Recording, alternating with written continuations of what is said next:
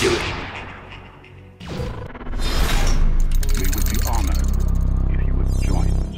Hey everyone, how are you all doing today? So, we know that in episode 3 of Revenge of the Sith, Anakin turned to the dark side mainly because Padme was going to die in childbirth, or at least his visions so told him. The knowledge of her pregnancy was common to most that knew her, and those who knew that Anakin was the father, specifically Yoda, Obi-Wan, and Bail Organa, knew that Luke and Leia would be exceptionally strong in the Force, and would threaten the Emperor as long as they lived. So when Padme died after giving childbirth, Yoda, Obi-Wan, and Senator Organa hid the fact that she had given birth by making Padme still look pregnant during her funeral, so that neither the Emperor nor Vader would know that the babies had even been born. They did this so that the Emperor and Vader would never really have a reason to go looking for them, since if they weren't alive, there would be nothing to find. However, the question that remains is why was Leia's last name changed, but Luke's wasn't? If you want to hide a kid from the Empire, don't send him to his only family that not only Vader knows, but also knows where they live, and not change his last name from Skywalker. Now, we could say that George Lucas was making it all up as he went along, or that Luke Lars didn't have quite the same ring to it as Luke Skywalker. But there's another reason revealed in canon comics. We know Leia was adopted on Alderaan, and her last name was changed to Organa. Her father, Bail, was a senator from Alderaan with a high public profile, and is someone the Empire didn't really care for, considering Bail's opposition to the Emperor. Leia Skywalker would probably attract some attention, so that name had to go. Luke, on the other hand, was sent to his aunt and uncle on Tatooine, Owen and Beru Lars, who, if you remember, were Anakin's stepbrother and stepsister-in-law after Shmi married Owen's father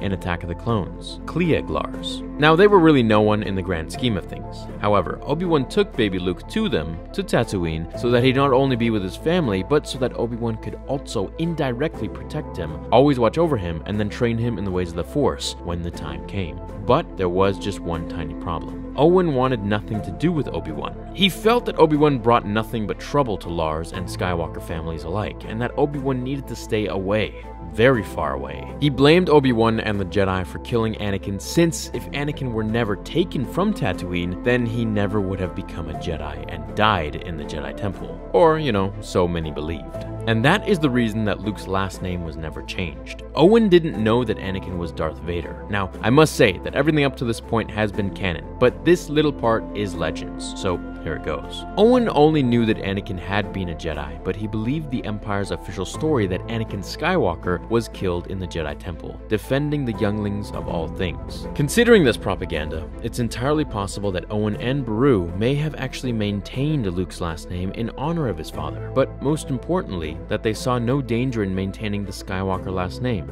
and so they didn't change it. Why Obi-Wan never told Owen the truth about Anakin is anyone's guess at this point, but I imagine it was because if Owen knew what Anakin had become, he may have tried to hide Luke from the Empire himself, and may have taken him to a place that even Obi-Wan wouldn't have been able to find. If that had happened, then Luke would probably have been in more danger, since Obi-Wan is a better protector, obviously. Obi-Wan wouldn't have been able to eventually train him, and Luke would have never found R2 and 3PO. And if all of that happened, then Episode 4 would just never have happened in general, and well, a lot of us wouldn't have liked that. In short, Obi-Wan probably meditated on this question quite a bit, and felt that it was the will of the Force for Luke's last name not to be changed. So he obeyed it, even though he probably didn't know why at the time, but in the end, it all worked out. Now clearly, Luke's last name did not result in his discovery by the Empire, or Darth Vader in general. But why? Most likely because Vader hated Tatooine. Slavery, sand, dead mom. Everything he hated was what he associated with the planet. While we know he did return to Tatooine on at least one occasion, if he wasn't looking for a Skywalker, he would have no reason to find Luke. Now in Legends, we have seen artwork and pictures of Vader actually sending troops to burn Owen and Beru Lars for information on where Luke was. But that's of course out of the window now, as you know, canon is all we got. So what do you guys think? Do you think Owen eventually knew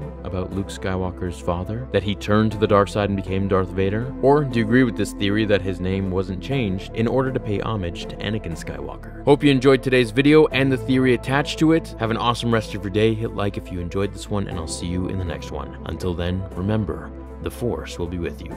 Always.